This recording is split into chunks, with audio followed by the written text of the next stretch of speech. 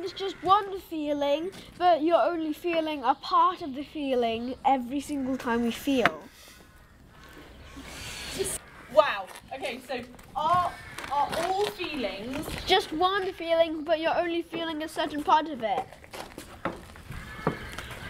Every time you feel something. You mean there's like one massive feeling or it has different sections of it? Well, basically, and every time you fill one section of that feeling, like, is that what you mean? Yeah. It's cool. The image that comes into my head. Have you seen those um um the um what are they called prisms? They're like a they're kind of like a clear glass thing that you hang up at the light, and then it, it makes like the rainbow patterns on the Yeah. on the wall. Disco yeah.